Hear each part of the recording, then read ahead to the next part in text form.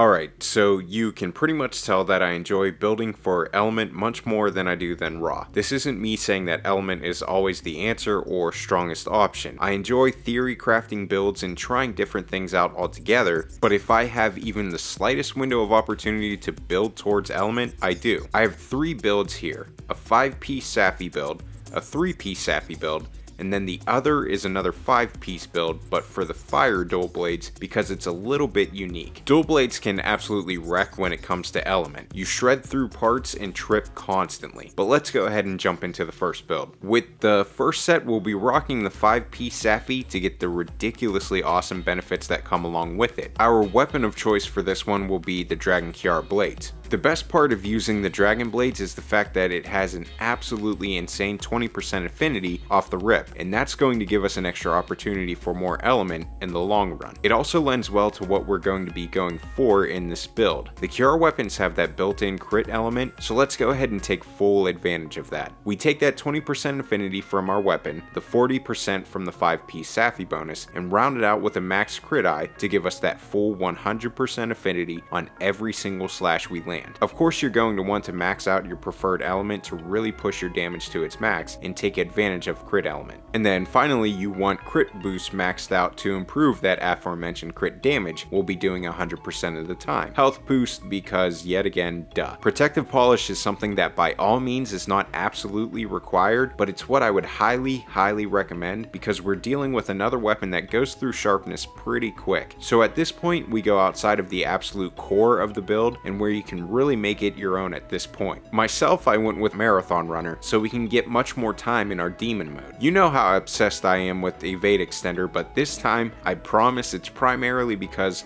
they're pretty much the best available expert combo decos that I have. In saying that, Evade Extender is fun with dual blades in demon mode, so enjoy. Lastly, we come to the Evasion Plus deco. We already get 3 levels of evade window with Safi 5 piece set, so why not take that to a level where we'll actually get some solid benefit from. Plus, dashing through an attack is everything I never knew I needed. Now with this build, using the Dragon Blades, I went with a health augment because I'm not the greatest of dual blade players, and I like to counter the Safi reset damage with this. And then after that health augment, we throw on two element augments to round it out. We're able to do this so easily thanks to that 20% base affinity of the Dragon Blades. In terms of the other elements, you're going to have to get crafty with how you get to that last 5%, whether that's through custom augments, attack boost, or agitator which will hold true in the 3-piece build as well. Now when it comes to the 3-piece set, right off the bat we're going to be sacrificing some element since we get less of a boost from the 3-piece Safi set bonus. But that doesn't mean we still can't put together a solid build, because in return, we get a maxed out agitator. We still have the core of crit eye, crit boost,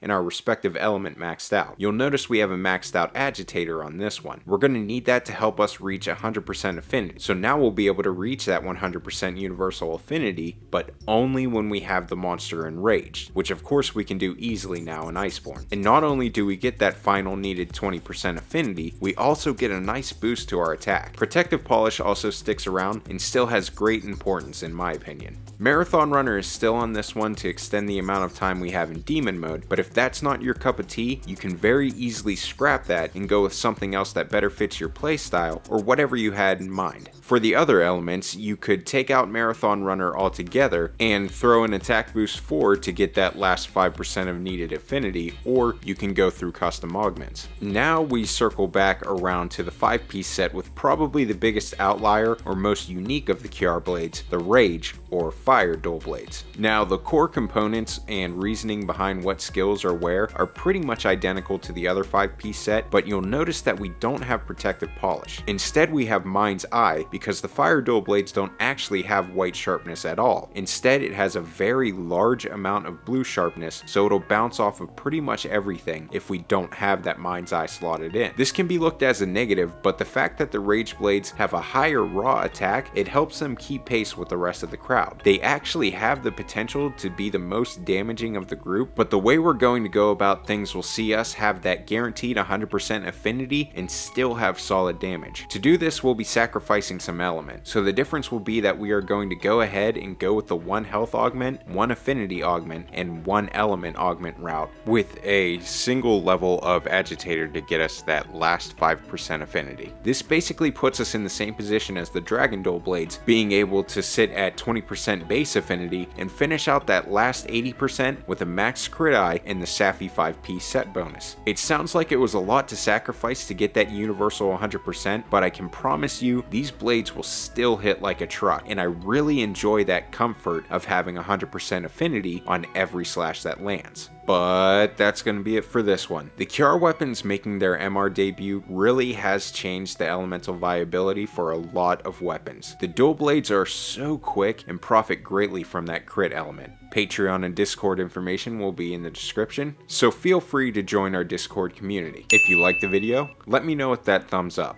Comment below what you like and maybe don't like about dual blades or element builds in general. Subscribe and hit the bell if you haven't already for more Iceborne, Monster Hunter, and other gaming content.